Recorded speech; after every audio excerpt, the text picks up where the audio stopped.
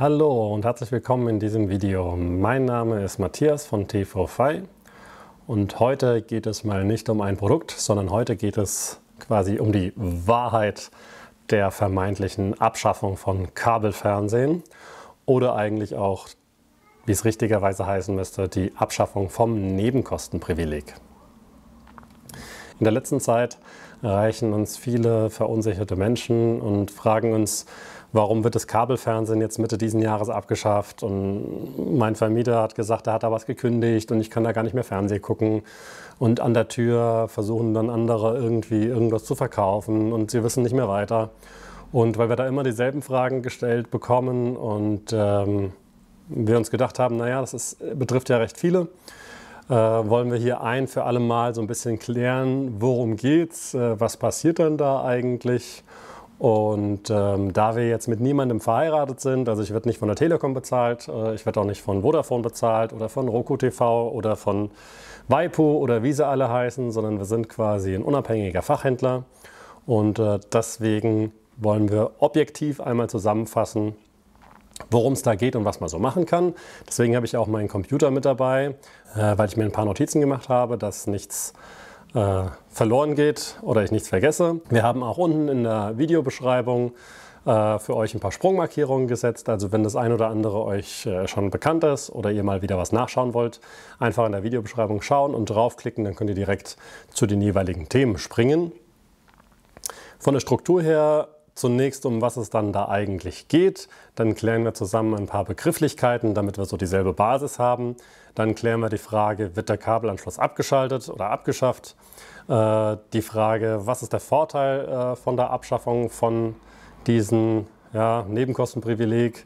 Ähm, ist Glasfaser jetzt die Zukunft? Was entstehen für Kosten? Äh, was soll ich jetzt tun?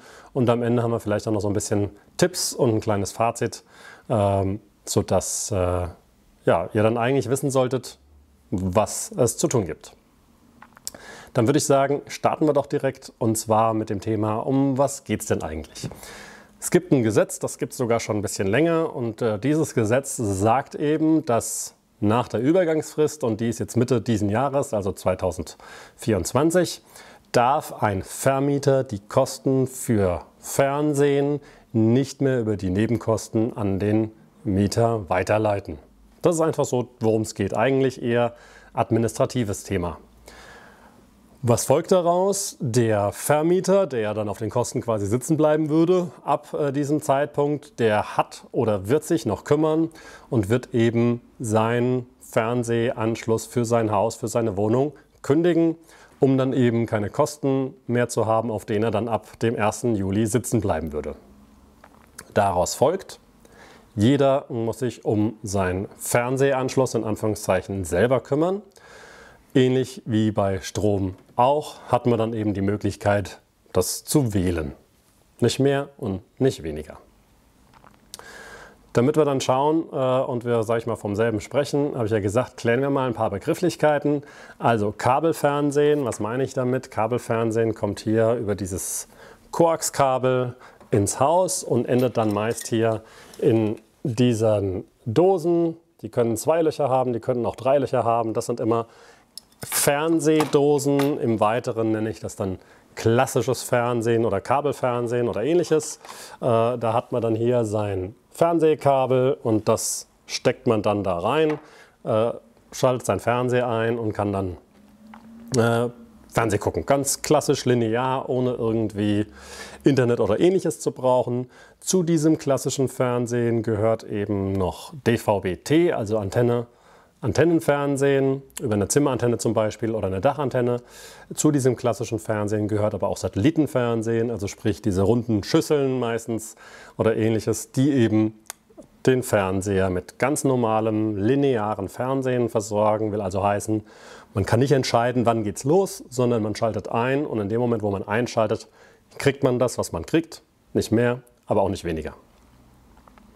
Das zweite ist, es gibt, sage ich mal, Internet. Das sieht dann so aus meistens.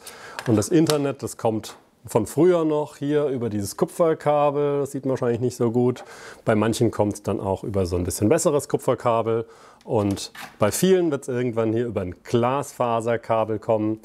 Aber ähm, das ist erstmal Internet oder auch früher hat man gesagt Telefon. Also sprich was ganz anderes wie jetzt normales Fernsehen. Verwirrenderweise ist es so, dass man eben über das Internet auch Fernseh schauen kann. Will also heißen, wenn ich übers Internet Fernseh schaue, dann ist immer ein Router dazwischen, dann ist WLAN oder ein LAN-Kabel dazwischen, dann nennt man das auch Streaming oder On-Demand-Fernsehen oder IPTV oder oder oder, bedeutet aber immer dasselbe. Und das bedeutet immer, dass man eine Art von Computer hat. Das kann ein Tablet sein, das kann ein richtiger Computer sein, das kann ein Receiver sein, äh, es kann ein kleiner Stick sein, es kann aber auch ein Smart TV sein, der App schon vorgefertigt hat. Und diese Computertechnik, die fragt dann jemandem im Internet äh, und sagt, hier bitte, jetzt schick mir doch mal ARD und dann schickt der andere diesem Gerät dann ARD und dieses Gerät wandelt es dann um in ein Fernsehbild.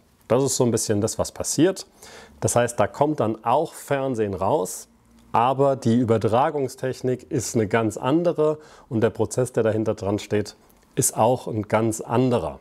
Neben dem Streamen von normalem Fernsehen gibt es noch die Mediatheken, die auch über das Internet kommen, würden auch dann in dem Fall gestreamt werden, deswegen gehören die dazu. Äh, es gibt Amazon Prime, es gibt Netflix, es gibt Disney Plus, es gibt Roku TV, es gibt Waipu TV, ähm, es gibt Twitch und wie sie alle heißen. Das sind alles mehr oder weniger unterschiedliche Anbieter, die dann unterschiedliche Inhalte übers Internet liefern. Und der Vorteil da ist, man kann quasi selbst entscheiden, wann was läuft. Was meine ich damit? Es ist nicht so, man schaltet um 20.45 Uhr ein und der Film hat schon angefangen und man hat den Anfang verpasst, sondern in dem Fall würde man immer sagen, jetzt möchte ich Film X gucken und dann geht er genau dann los, wann ich ihn brauche. Und deswegen ist das auch immer so eine Kommunikation, die hin und her läuft. Das äh, sprich ein Hinkanal, ein Rückkanal, man muss sich miteinander absprechen. Ist genauso wie wenn ich auf dem Handy oder auf dem Computer eingebe www.spiegelonline.de oder sonst irgendwas, dann sende ich die Anfrage und bekomme dann genau diese Internetseite zurück und genauso ist es mehr oder weniger bei dem Streaming, beim IPTV, bei diesen ganzen Apps, die ich gerade genannt habe. Ich frage was an und kriege es explizit zurück. Das ist so ein bisschen IPTV. So, um es gedanklich nochmal zusammenzufassen.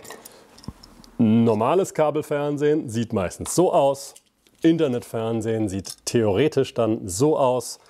Es sei denn, man hat schon Glasfaser, dann ist es eine andere Buchse. Aber im Grunde genommen kann man das so ein bisschen auseinanderhalten. So, dann ist die nächste Frage, die viele dann stellen oder gesagt bekommen, oftmals auch zwischen Tür und Angel im wahrsten Sinne des Wortes.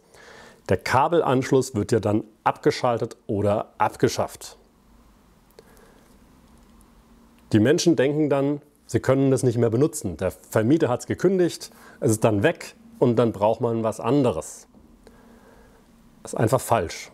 Der Kabelanschluss an sich, der wird nicht abgeschafft. Wie ich eingangs schon gesagt habe, es wird abgeschafft worden, dass der Vermieter für einen entscheiden darf und kann und man das akzeptieren muss. Man kann also weiterhin Kabelfernsehen nutzen, sofern man das möchte. Und es kann auch gar nichts abgeschaltet werden, schon gar nicht über Nacht, weil diese Abschaltung, die kann man nicht zentral machen. Also da sitzt dann nicht ein Herr Vodafone in seiner Zentrale und legt einen großen Schalter um und dann wird es in der Hauptstraße 7 dunkel, sondern diese Abschaltung wäre nur möglich, wenn ein Techniker in das Haus reinkommt, um da Sachen wirklich auch abzuklemmen. Alternativ dazu sogar müsste er in die einzelnen Wohnungen kommen, je nachdem, wie die Verteilung im Haus ist. Aus Vodafone-Sicht würde das gar keinen Sinn machen, wenn man abgeschaltet werden würde könnte man ja gar keine Sachen mehr bei denen kaufen und buchen und dann werden die ja übermorgen pleite. Also ist es falsch, dass das abgeschaltet wird, abgeschaltet wird und abgeschafft wird. Also das kann man ganz klar so sagen, stimmt nicht. Die nächste Frage ist dann, was ist der Vorteil von dieser Abschaffung von diesen umlagefähigen Kabelfernsehkosten oder dem Ende des Nebenkostenprivilegs? Nun ja, also der Vorteil, der liegt insofern auf der Hand, als dass es so ist, dass nicht jeder Mensch, für manche klingt es jetzt verrückt, aber nicht jeder Mensch nutzt Fernsehen und nicht jeder Mensch nutzt auch dasselbe Fernsehen. Was meine ich damit? So. Es gibt Menschen, die nutzen gar kein Fernsehen, die haben vielleicht sogar gar keinen Fernseher, die lesen einfach lieber Bücher. Und die mussten bisher auf Gedeih und Verderb die Fernsehgebühren, die über die Nebenkosten reinkamen, mitbezahlen. Es gibt auch die Möglichkeit, dass jemand eine Satellitenantenne hat, eine eigene, oder vielleicht gar kein deutsches Fernsehen schaut, sondern Fernsehen aus dem Ausland über die Satellitenantenne konsumiert. Und auch der musste bisher zusätzlich immer noch diese Gebühren bezahlen, auch wenn es ihn gar nicht interessiert hat. Und, und das ist jetzt so ein bisschen der modernen Anführungszeichen geschuldet, es gibt natürlich auch immer mehr, die sagen, lineares Fernsehen, Fernseher einschalten, die zwei drücken und äh, ZDF schauen, das interessiert mich gar nicht mehr. Ich streame eigentlich alles nur noch von Amazon oder von Netflix oder sonstiges. Auch die waren gezwungen, die Gebühren vom Kabelfernsehen mitzubezahlen, obwohl sie es gar nicht genutzt haben. So, und dementsprechend ist es so, dass jetzt das möglich ist zu sagen, okay, ich brauche es nicht, ich bezahle es nicht, ich habe einen anderen Anbieter oder einen anderen Weg, den ich nutzen möchte und entsprechend bin ich dann flexibler, kann mir meinen eigenen Anbieter raussuchen und kann eben schauen, was für meine Bedürfnisse am besten passt. Jetzt ist die nächste Frage, die dann viele stellen. Ja, jetzt wo das wegfällt, schräg, schräg abgeschaltet wird, ich weiß sowieso nicht recht, aber alle erzählen mir andauernd, Glasfaser ist die Zukunft und ähm, das ist ja super, dann passt es doch und äh, ich werde mir jetzt irgendwie Glasfaser holen statt Kabelfernsehen und dann kann ich ja viel besser Fernsehen gucken, weil es ja wie gesagt ähm, neuer und moderner und ist etc. etc. Auch das auch diese Aussage ist erstmal falsch. Glasfaser, das haben wir ja zu Beginn schon festgehalten. Wir haben hier das Kupferkabel, das alte, dann haben wir ein bisschen neueres Netzwerkkabel und am Ende dann Glasfaser. Ähm, ist im Endeffekt die Evolution oder die Weiterentwicklung hier vom Internet. Das heißt, die hat so gesehen mit dem normalen klassischen Fernsehen überhaupt nichts zu tun. Das sind zwei verschiedene Paar Schuhe. Und dementsprechend kann man auch nicht sagen, Glasfaser ist die, das modernere Fernsehen oder ist die Weiterentwicklung vom Kabelfernsehen. Das ist schlicht falsch. Es ist einfach eine andere Art der Übertragung für Internet.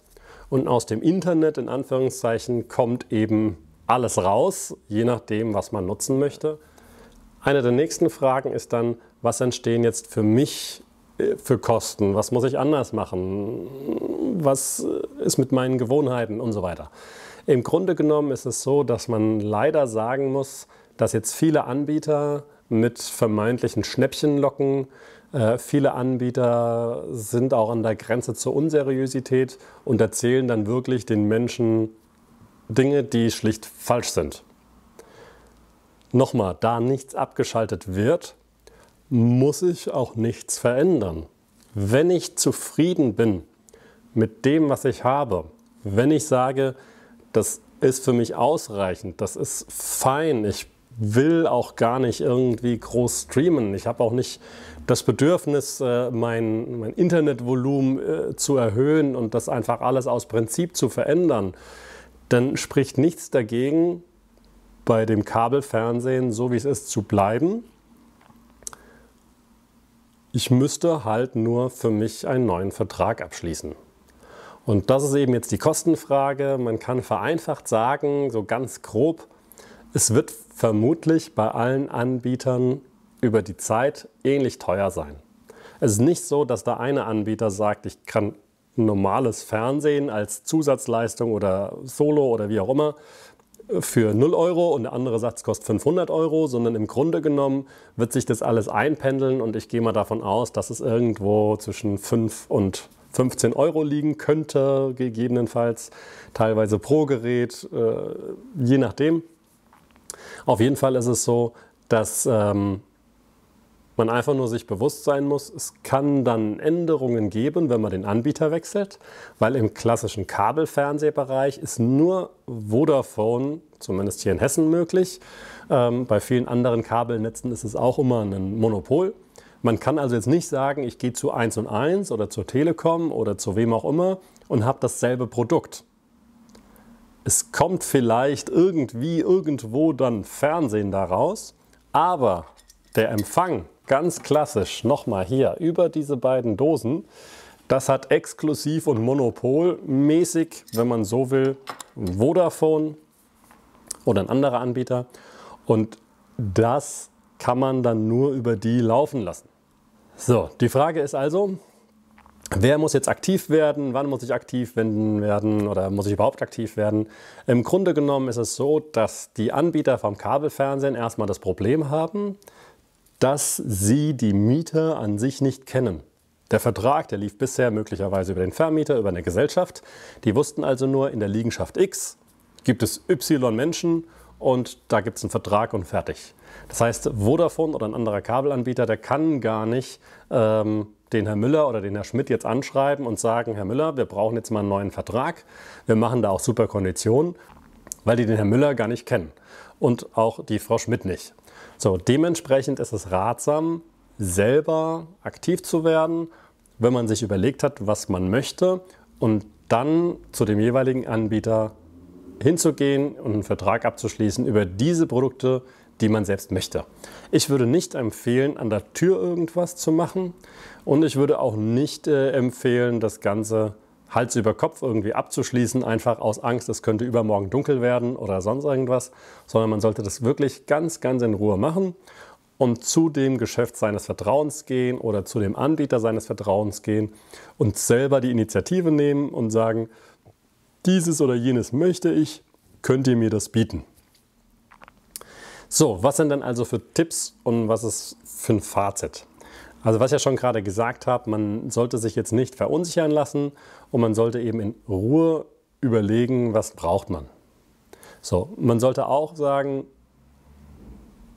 vielleicht, was finde ich an meinem bisherigen Fernsehen gut, was finde ich nicht so gut, stört mich etwas, stört mich der Anbieter, äh, möchte ich irgendwas verändern? Oder vielleicht auch, was möchte ich auf gar keinen Fall verändern. Ich mache mal das Beispiel, man hat jetzt irgendwie einen DVD-Rekorder und drei, vier Fernseher in der Wohnung und hat seine Programme da alle irgendwie sortiert und ist seines Lebens froh und ist alles wunderbar und man sagt, naja, das, das läuft doch alles ganz prima. Wenn alles prima ist, warum was ändern? Dann ist ja einfach nur die Abrechnung eine andere. Ich zahle es nicht über die Nebenkosten an meinen Vermieter, sondern ich zahle es direkt mit einem Vertrag, den ich habe, an den Anbieter vom Kabelfernsehen. Ich würde in dem Fall also zur Vodafone gehen oder zu dem Anbieter, den man vor Ort eben hat, und sagen, hör mal zu, ich brauche einen Vertrag, einfach nur übers Fernsehen, was kannst du mir anbieten? Die haben auch Sonderangebote und fertig ist es. Anderer Fall, man ist eigentlich am Stream. Man äh, schaut gefühlt nur noch Netflix und äh, wann man das letzte Mal ARD, ZDF oder sowas eingeschaltet hat, weiß man eigentlich schon gar nicht mehr. Dann ist natürlich die Frage, brauche ich da Kabelfernseh für? Nein, natürlich nicht. Dann könnte es dann Sinn machen zu sagen, wunderbar, es ist ja sowieso schon gekündigt. Ich mache also gar nichts und schaue dann über meinen Internetanbieter, wie auch immer das geregelt ist, einfach mein Netflix oder sonstige Internetsachen und bin happy. Das heißt, ich muss noch nicht mal aktiv werden, weil es betrifft mich sowieso nicht. Was ist also die Quintessenz auch von diesen Beispielen? Jeder Fall ist unterschiedlich. Und deswegen nicht eine Pauschalantwort von irgendjemandem geben lassen, schon gar nicht an der Tür. Und es ist auch gar nicht so, dass Kabelfernsehen übermorgen wegfällt, auch nicht nach dieser Umstellung von der Abrechnung. Es wird auch nicht in drei Jahren abgeschaltet, sondern Stand heute, äh, Anfang 2024, wird es Kabelfernsehen definitiv noch eine Weile geben. Und wenn man einfach nur normal klassisches Fernsehen schauen will, spricht für mich nichts dagegen und ich finde es sehr, sehr schade, dass da immer wieder ganz viele ganz äh, wahnsinnige andere Dinge irgendwie erzählen. Niemand wird über Nacht irgendwas abschalten und Sie sind auch überhaupt nicht dazu gezwungen, irgendwas abzuschließen oder irgendwas zu kaufen. Schon gar kein Glasfaser oder sonstiges, wenn Sie überhaupt gar keine Lust darauf haben. Man muss sich immer überlegen, was kaufe ich und was bekomme ich durch diesen Kauf und was verändert sich. Es verändern sich unter Umständen die Geräte, die ich anschließen darf und kann und muss. Es verändert sich unter Umständen der Bedienkomfort. Es ist unter Umständen so, dass ich eine ganz andere, ja, wie soll ich sagen, Durchschaubarkeit habe. Beim klassischen Fernsehen über Kabelanschluss, da weiß niemand, was gucke ich gerade. Wenn ich einen Internetstream aufrufe, weiß immer der Anbieter auf der anderen Seite, ach gucke mal, der Herr Müller, der guckt ganz gerne Rosamunde Pilcher. Ob das jetzt schlimm ist oder nicht, weiß ich nicht. Aber es hat eben alles einen Effekt und den sollte man nicht ganz unberücksichtigt lassen. Wenn noch Fragen sind, gerne hier unten in die Kommentare schreiben. Wir werden die soweit möglich alle beantworten. Äh, ansonsten fragt euren Fachhändler vor Ort oder euren Ansprechpartner des Vertrauens. Nicht irgendwelche Fremden irgendwas für einen entscheiden lassen und auch immer schauen, was brauche ich selbst und nicht irgendeine dritte Person. In diesem Sinne viel Spaß beim Fernsehschauen und bis zum nächsten Mal. Tschüss.